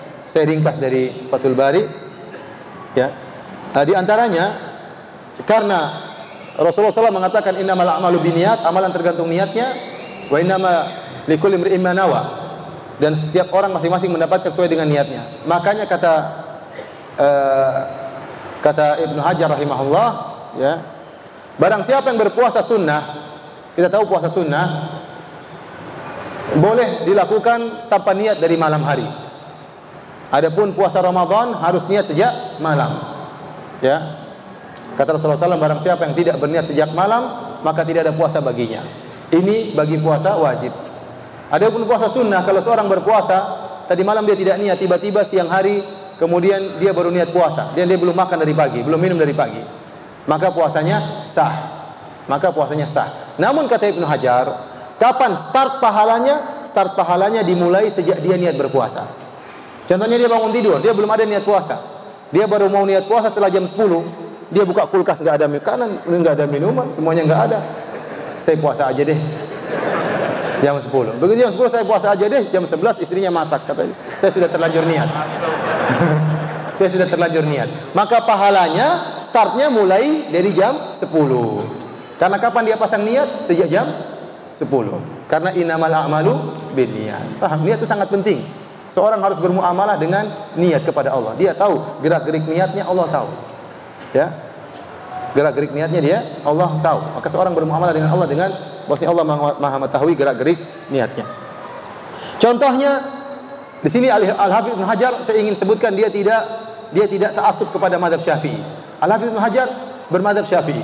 Tapi dia menyebutkan dia menyelisih jumhur ulama Syafi'iyah dalam masalah apa? Dalam masalah jamak takdim dan jamak takhir. Kata beliau eh, dalam masalah jamak takdim, kata dia eh, Ustudilla bimafhumihi ala anna ma laysa bi amalin la tusyarat an-niyatu fihi. Hadis ini dijadikan dalil kalau ada suatu perkara yang bukan amal maka tidak perlu niat. Kata beliau di antara jamak takdim, barang seorang barang siapa yang sholat jamak ya, maka tidak perlu dia niat sejak awal saya ingin jamak. Tidak harus. Karena amalannya kata dia, amalannya sholatnya. Kalau antum niat sholat duhur harus punya niat. Kalau sholat asar harus punya niat. Tapi tergabungnya duhur dan asar jamak takdim tidak harus ada niatnya. Contohnya kita sholat, sholat duhur, Allah Akbar, setelah sholat. Tahu-tahu setelah sholat Assalamualaikum warahmatullahi wabarakatuh, hujan keras, nggak bisa pulang. Bukankah disunahkan untuk dijamak? Maka jamak meskipun tadi sebelumnya kita belum niat. Jumhur ulama Syafi'iyah mempersyaratkan sebelum Anda bertakbir atau ihram salat duhur sudah sejak awal punya niat saya ingin jamak dengan salat apa? Asar. Paham? Ini mayoritas ulama Syafi'iyah. Tetapi pendapat ulama Syafi'i diselisih oleh Ibnu Hajar. Dan saya ingin jelaskan ada ulama-ulama Syafi'iyah yang tidak ta'assub kepada madhab Syafi'iyah. Contohnya Imam Nawawi. Imam Nawawi sering menyelisihi atau punya pendapat-pendapat yang menyelisihi madhab Syafi'i. Ya, demikian juga apalagi Ibnu Daqiqil Aid. Ibnu Daqiqil Aid ya, dalam kitabnya Ihkamul Ahkam, Syarah Umdatul Ahkam sering kali dia menyelisih Imam Syafi'i. Dia mengatakan Imam Syafi'i mengatakan demikian tapi yang lebih kuat seperti ini. Padahal dia bermadhab Syafi'i. Imam Nawawi pun demikian. Kemudian kata Ibnu Ibnu Hajar Fa inna rajih min haitsu nazar, pendapat yang kuat dalam masalah ini menurut pengamatan annahu la yushtarat lahu niyyah. Dalam masalah jamak, ingat proses jamaknya ya. Bukan sholatnya, sholatnya harus pakai niat. Sholat duhurnya harus pakai niat atau tidak? Pakai. Sholat asalnya harus pakai niat atau tidak? Pakai. Menggabungkannya kata Ibnu Hajar tidak perlu niat karena itu bukan amalan. Ya, Kata dia tidak perlu niat. Bi khilafi ma rajjahahu katsirun minasyafi'iyah. Berbeda dengan pendapat kebanyakan ulama Syafi'iyah, mayoritas ulama Syafi'iyah yang menyatakan harus dengan niat. Kata Ibnu Hajar tidak harus. Saya menyelisih mereka. Ya. Kata dia dalilnya ada. Dalilnya Rasulullah sallallahu alaihi wasallam jama'a fi ghazwati Tabuk wa lam yadhkur dzalika lil ma'mumin. Rasulullah SAW dalam perang Tabuk salat kalau tidak salah 21 hari atau 19 hari. Jamak jamak terus. Dan Rasulullah SAW tidak menyebutkan kepada para sahabat sebelumnya, wahai para sahabatku, saya ingin jamak. Tidak, tapi tapi tapi tiba-tiba Rasulullah SAW sholat, kemudian komat lagi, kemudian apa? Jamak. Paham? Jadi kalau misalnya anda sholat tidak ter, tidak niat jamak, tiba-tiba ada sahabat yang bilang eh, kita jamak ya nanti di jalan susah. Ya udah ikut jamak saja.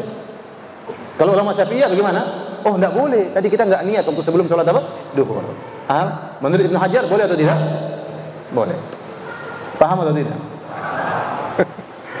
Baik, kita lanjutkan. Hadis ini juga dijadikan dalil oleh Ibnu Mulaqin dalam kitabnya At-Tawdih. Dia mengatakan tentang niat. Saya bacakan perkataan dia ringkasannya. Anna mahallaha al-qalbu indal jumhur la lisan. Ingat niat itu tempatnya adalah di hati, bukan di lisan. Kenapa? Allah mengatakan innamal Rasulullah SAW mengatakan innamal amalu apa? Bin niat. Niat di mana? Di hati. Ini pendapat jumhur. Ya, Kemudian uh, di antaranya dalil beliau firman Allah ya la yanala la yanala Allah luhumuha wala dima'uha walakin yanaluhu taqwa minkum. Kata beliau tentang masalah menyembelih hewan kurban. Kata beliau Allah berfirman tidak akan sampai kepada Allah daging-daging tersebut, tidak akan sampai kepada Allah darah-darah tersebut, tetapi akan sampai kepada Allah takwa minkum, takwa dan takwa tempatnya di hati. Rasulullah SAW yushiru ila sadrihi Rasulullah SAW beri isyarat kepada hatinya, dadanya Rasulullah SAW mengatakan at-taqwa hahuna, at-taqwa hahuna, at-taqwa hahuna. Takwa tempatnya di hati, takwa tempatnya di hati, takwa tempatnya di hati. Berarti niat tempatnya di mana? Di hati.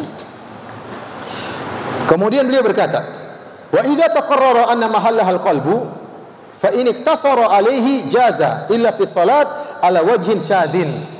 Kata beliau, kalau kita tahu bahwasanya niat tempatnya di hati, maka jika seorang tidak melafalkan niat, maka boleh. Kecuali dalam salat harus dengan melafalkan niat menurut pendapat yang syad, pendapat yang menyeleweng dari madhab syafi'iyah. Jadi, saya ingatkan, masalah niat dalam madhab syafi'iyah Madhab Syafi'iyah berpendapat bahwasanya jika seorang sholat tanpa niat eh, tanpa melafalkan usolli fardhu dhuhri arba rakaatin maka ulama Syafi'iyah mengatakan sah.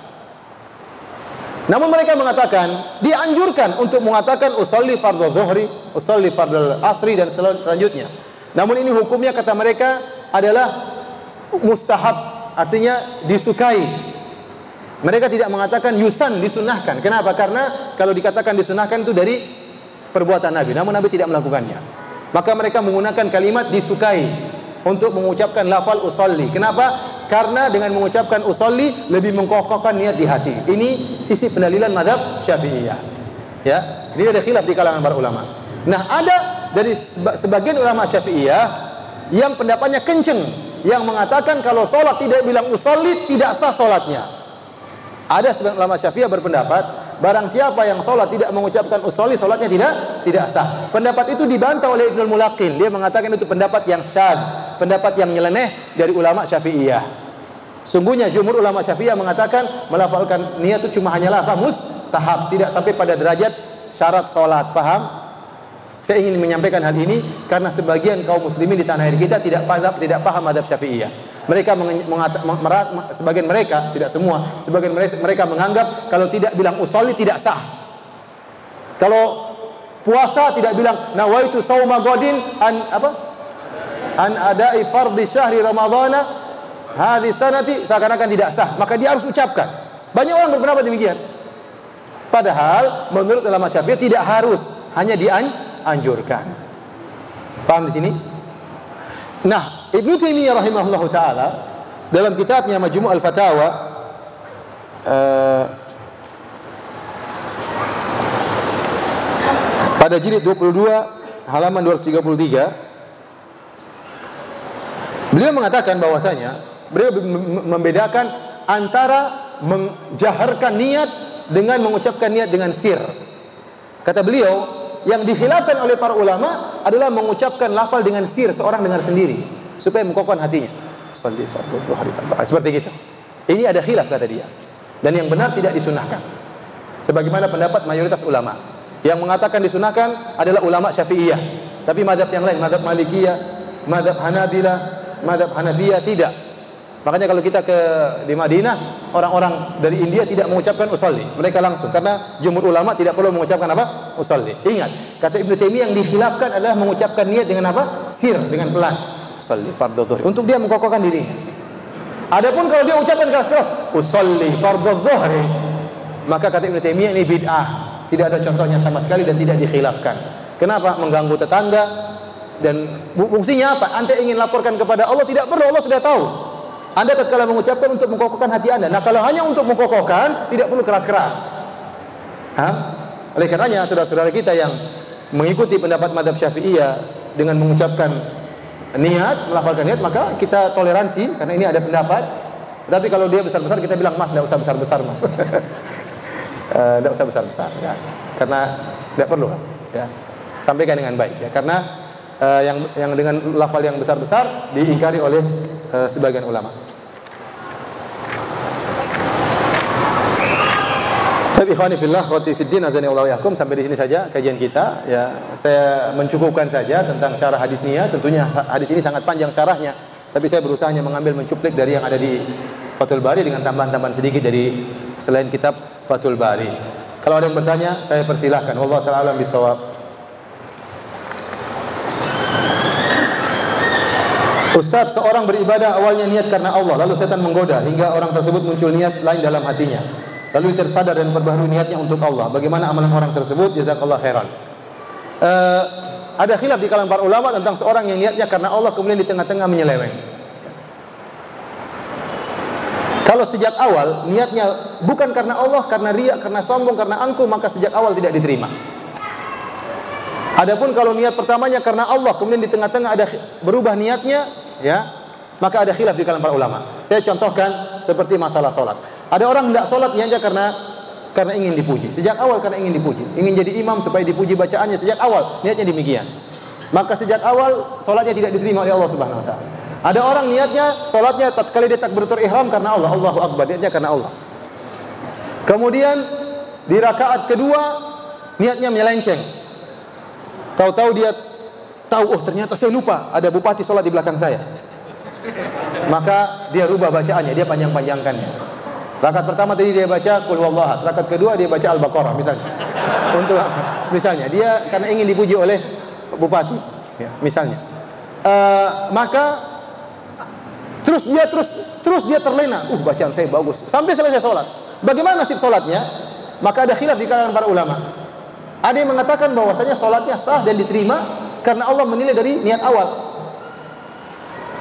Allah menilai niat niat awal.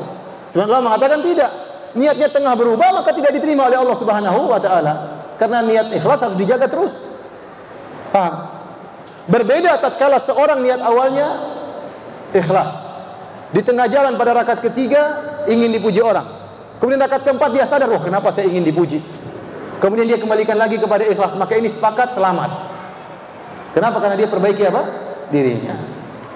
Oleh seorang dalam amalan apa pun, apakah dakwah, apakah dalam apa pun, hendaknya niatnya karena Allah kalau ada goyang di tengah maka segera dia perbaiki apa? Dirinya. Dia perbaiki dirinya. Agar niatnya diperbaiki oleh Allah Subhanahu wa taala.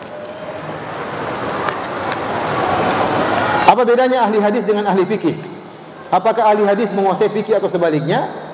Kalau dahulu semua ahli hadis ahli fikih. Artinya kebanyakan bukan semuanya. Tapi uh, banyak ulama ahli hadis yang kita kenal adalah ahli fikih Contohnya Imam Al-Bukhari ahli fikih atau bukan? Ahli fikih, dia punya pentarjian sendiri. Dia punya dalil yang ahli fikih saja mempelajari bagaimana pentarjian Al-Imam Al-Bukhari yang nampak dari bab-bab yang judul-judul bab yang dia sebutkan. Al-Imam Ahmad bin Hambal, ahli hadis atau bukan? Ahli hadis dan dia juga punya madhab ham Hambali.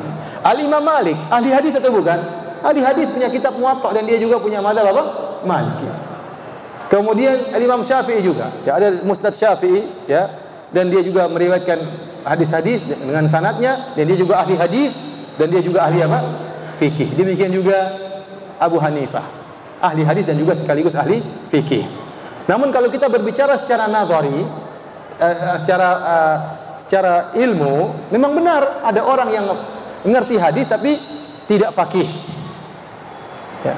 Makanya Rasulullah SAW mengatakan, "Nadharallahum ra'an sami'a maqalati fawa'aha fa'addaha kama sami'a farubba muballagin aw'a atau afqahu minas sami'." Kata Rasulullah SAW, semoga Allah merahmati, memperindah wajah seseorang yang dia mendengar hadis-hadisku, kemudian dia hafalkan, kemudian dia sampaikan. Kemudian kata Nabi, betapa banyak ya uh, rubah hamil fikhin ila man afqahu minnu. Betapa banyak orang yang menyampaikan kepada orang yang lebih paham daripada dia. Banyak orang menyampaikan yang lebih paham daripada dia. Bisa jadi seorang yang membawa ilmu fikih, dia bawakan kepada orang yang lebih fakih daripada dia. Dan ini praktiknya terjadi. Ada orang yang dia bergelut dengan hadis, namun ternyata dia tidak pakar fikih. Ya, namun dia tidak pakar fikih atau dia pakar fikih namun kepakarannya tidak begitu hebat. Tidak begitu hebat. Dan itu terjadi sekarang di zaman uh, para ulama. Kita dapati ada orang ulama yang benar-benar pakar pakar fikih, tapi ilmu hadisnya kurang. Ada orang yang pakar hadis tapi ilmu fikihnya apa? Kurang. Karena ilmu hadis disiplin ilmu tersendiri, ilmu fikih disiplin ilmu tersendiri. Dan ada ulama yang bisa menggabungkan dua-duanya, namun itu jarang. Namun itu jarang artinya hadis benar-benar fakih, benar-benar pakar dan fikih benar-benar apa? pakar. Contohnya sederhana, ya. Syekh Albani rahimahullah beliau ahli hadis dan beliau juga fakih. Tetapi Syekh Utsaimin waktu Syekh Albani meninggal dunia dia komentar. Dia mengatakan bahwasanya uh, uh, Syekh Albani lebih pakar hadis daripada fikih. Ini komentarnya siapa? Syekh Utsaimin terhadap Syekh Albani, bukan perkataan saya. Dan sebaliknya saya katakan, Syekh Utsaimin setelah meninggal saya katakan, Syekh Utsaimin pakar fikih tapi ilmu hadisnya tidak seperti Syekh Albani. Paham? Jadi pertanyaannya tadi, Apakah ahli hadis sama dengan ahli fikih? Jawabannya beda. Jawabannya beda. Contoh kita dapati sekarang banyak ulama saya tahu di, saya ketahui di Arab Saudi mereka ber, bergelut dengan ilmu fikih. Mereka mengerti tentang madhab-madhab. Tapi mereka tidak bergelut dengan rawi-rawi hadis. Sehingga mereka tidak begitu hafal tentang rawi-rawi hadis, tentang ilat-ilat hadis. Kalau ada hadis yang mereka ingin cek, mereka akan kembali kepada buku-buku ulama yang menjelaskan tentang hadis ini. Bukan mereka periksa sendiri. Jadi bisa jadi ada ahli fikih tidak ahli hadis, ada juga ahli hadis tidak ahli fikih. Tapi kalau kita bicara tentang ulama-ulama terdahulu, kebanyakan ulama-ulama mazhab ahli hadis dan ahli fikih sekaligus. Imam Malik ahli fikih dan ahli hadis, Imam Syafi'i ahli fikih dan ahli hadis, Imam Abu Hanifah ahli fikih dan ahli hadis. Kemudian Imam siapa lagi? Imam Malik, Imam Hambali ahli fikih dan ahli hadis, Imam Sufyan Ats-Tsauri juga ahli fikih dan ahli hadis dan selanjutnya.